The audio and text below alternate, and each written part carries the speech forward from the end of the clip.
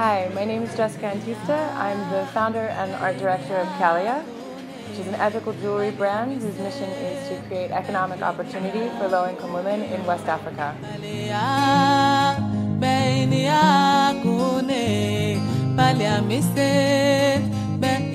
Uh, our concept is to buy organic and recycled beads that are either made or collected by rural women's associations.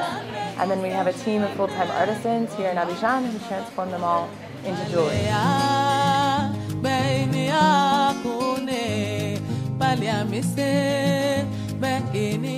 Uh, so we're here tonight at Centre Artistique Beaux-Arts uh, to do a very exciting event. Um, we're, uh, we're here with, uh, with a lot of our one-of-a-kind pieces as well as some pieces from our last uh, couple of collections.